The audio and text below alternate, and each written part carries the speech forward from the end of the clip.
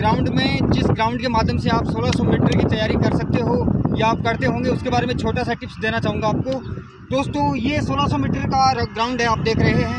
1600 metre ground है।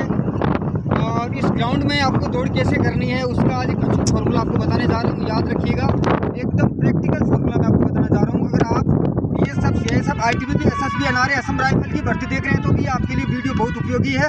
अगर आप आर्मी की तैयारी कर रहे हैं तो आपके लिए वेरी मोस्ट इंपॉर्टेंट ये होने वाला है वीडियो तो इस वीडियो को पूरा देखना।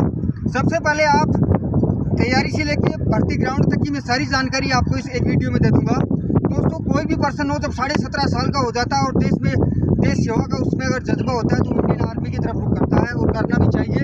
वो एक जज्बा, एक फौलाद लेकर वो तैयारी के लिए इस ग्राउंड में उतरता है रात की चार बजे। तो दोस्तों, कुछ ही लड़के कहाँ मिस्टेक्स करते हैं, मैं उसके बारे में आपको एक एक चीज़ बताऊँगा।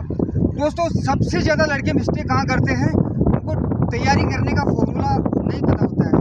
अगर आप 1600 मीटर में अगर बढ़िया तैयारी करना चाहते हो तो आप मॉर्निंग में केवल दो किलोमीटर दौड़ें और शाम को आप चार किलोमीटर पक्का दौड़ें। उसके अलावा आप सूट्स भी मारें। सेकेंड चीज़ आपकी यहाँ रहती है कि आप अपने स्टेप्स को हमेशा लंबा करने की कोशिश कीजिए। आप ये वाली एक्सरसाइज कर सकते हैं। उसके अलावा आप अपने स्टेप्स को पूरा खोलें। जितना ज़्यादा आप स्टेप खोलोगे, उतनी ज़्यादा चांसेस हो जाएँगे आपके रनिंग क्वालिफाई होने के। तीसरी गलती जो लड़के करते हैं वो मैं आपको बता देता हूँ कि दौड़ने से पहले पानी पीते हैं भर्ती ग्राउंड में दौड़ने से पहले पेशाब उनको बार बार आना स्टार्ट हो जाता है। ये सब चीज़ें मत कीजिए यार। अपने आप पे कॉन्फिडेंस रखिए बिल्कुल भी घबराहट मत रखिए। आप भर्ती ग्राउंड में अगर आप अपने आप पर काबू कर लेते हैं तो आपके चांसेस ज़्यादा बढ़ जाते हैं रनिंग क्वालिफाई करने के। तीसरी चीज़ जो गल, लड़के गलती करते हैं वो है कि वो स्टार्ट से तेज़ दौड़ते हैं। दोस्तों 400 400 मीटर के चार राउंड या करने होते हैं। लड़के ज़्यादा गलती कहाँ करते हैं? जब गो बोला जाता है तो कोशिश कीजिए आगे बैठने की।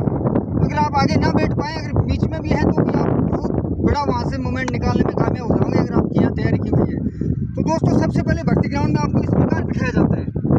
जब वहाँ से आपको के लिए बोला जाता है तो आपको ये पोजीशन रखनी है। इस पोजीशन के बाद में आपको खड़ा होना है।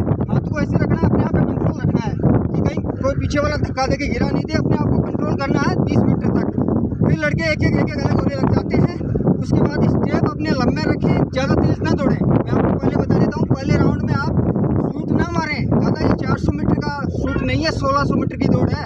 और 1600 मीटर दौड़ कालजे में जान मांगा है। तो आपको ध्यान ये रखना है कि पहले आपको आराम से दौड़ना है। एक राउंड स्टेप लंबे रखने हैं, आगे वाले बीस लड़कों में आपको रहना है।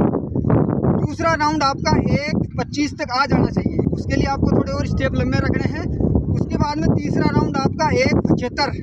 सॉरी दो दस तक आ जाना चाहिए। तो ये आपका कैलकुलेट टाइम हो गया तीन, साढ़े तीन मिनट अब लास्ट राउंड आप पूरी जान के साथ मार दें। तो आप चार राउंड मारने में सक्सेसफुल हो जाएँगे और कई लड़के क्या करते हैं? जब रनिंग पूरी करते हैं तो उनकी एनर्जी बिल्कुल डाउन हो जाती है, तुरंत पानी पीते हैं, केला खाते हैं, ये नहीं करना आपको। नहीं तो आप नाइन फीट का डिच नहीं कवर कर पाओगे जिग जो बैलेंस होता है वो नहीं कवर कर पाओगे और आप दस बीम नहीं पार मार पाओगे। अगर आप दस बीम नहीं मार पाते हो तो आप चाहे ग्राउंड में रनिंग के साठ नंबर है, आपकी बीम में बाईस तेईस नंबर है तो भी आपका फ़िज़िकल अमल दर्जे का नहीं होगा और आप वहाँ फेल हो जाएँगे। तो अपने डॉक्यूमेंट्स पूरे रखें, तैयारी पूरी रखें, बहुत अच्छी रैलियाँ आ रही है टीए की भर्ती आ रही है। मैं मेरे दोस्तों को यही कहना चाहूँगा, आगे बढ़ो दोस्तों, निरंतर मेहनत करो, देश के लिए कुछ करो। जय हिंद, जय भारत।